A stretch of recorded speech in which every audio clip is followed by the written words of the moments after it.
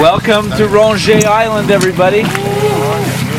We're surrounded by Cuverville Island here, the continent over there, um, the biggest peak in the Antarctic Peninsula over here, Mont Francais, and uh, lots of gentoos. They're all on the rocks. It's been another rem- remarkable day uh, with the Students on Ice team.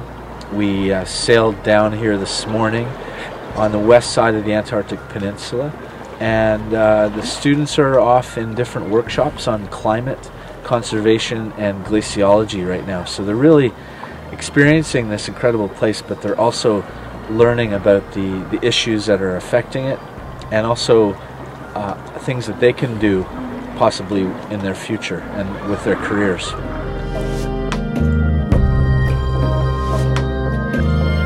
Half the group right now are here on Ronge Island.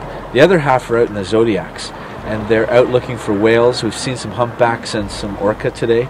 They're also just going around the icebergs. We had one iceberg that totally um, flipped over and broke up, and one of the Zodiacs was able to see that pretty closely. So they were quite excited uh, when they got back.